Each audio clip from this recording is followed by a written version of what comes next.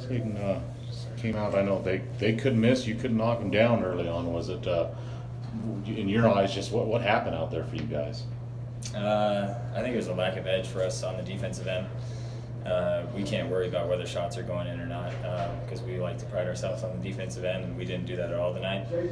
Uh, just our edge wasn't there on the defensive end, like I said, and we were just letting them uh, do what they wanted.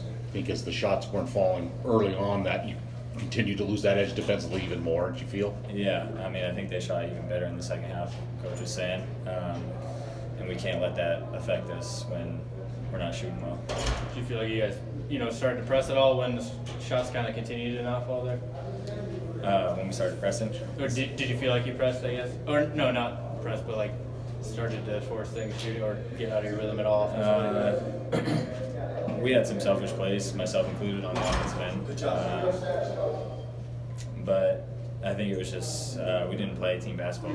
So. So it's just a frustrating shooting night for you too. I know you're from this area. You want to, you know, you want to play well in any game, but it was just a frustrating shooting night for you. You just didn't feel it, or did you feel good about the shots or anything tonight? Uh, no, all those shots I know I can make, and I took them with confidence, and they were just off a little bit. Um, and I took each and every one with confidence. Uh, you got to just move on to the next shot, and that's what I did. And, uh, it happens some nights, and that's just what, how it goes. So. Sounds like historically you guys have shot very well here. Is there anything challenging about you know this arena or this environment here? Uh, no, I wouldn't say so. Uh, I wouldn't. I don't think I personally noticed anything and said, "Oh, that," you know. But yeah. It, did you wish you almost had a game tomorrow just to get the taste? I mean, you got one Saturday. It'll come soon enough. But you looking forward to the next game? I almost wish you had one a little sooner to kind of just get this one behind you.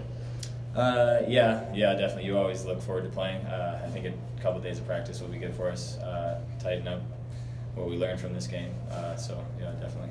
Coach just talked about how you guys wanted to be a little more consistent on the road this season. How that was a goal for you. I guess. Mm-hmm. What What do you feel like you guys need to still improve on there?